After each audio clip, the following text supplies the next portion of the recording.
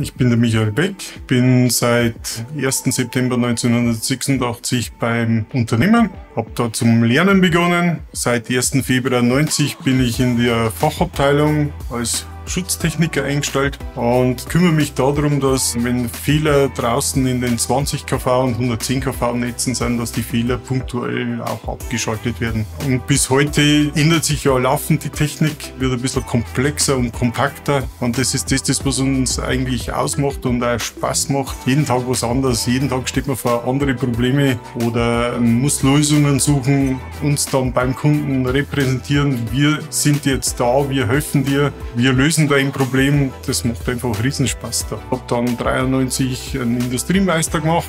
Hat eigentlich alles da, der Arbeitgeber, dass ich mich in der Firma entwickeln habe können. Wir bewegen uns mehr in den größeren Anlagen, Selektivstationen und Umspannwerken. Da sind die Schutzgeräte verbaut. Wir machen Inbetriebnahmen, Abnahmen, also wenn neue Schalthäuser, Umspannwerke, neue Felder in Betrieb gehen, überprüfen wir die Gewerke, die unsere Partnerfirmen hingestellt haben, auf Herz und Nieren. Sämtliche Funktionen, Stromwandler, Spannungswandler, Schaltfunktionen, Schutzgerät dann an sich selber als, als Herzstück von der ganzen Anlage.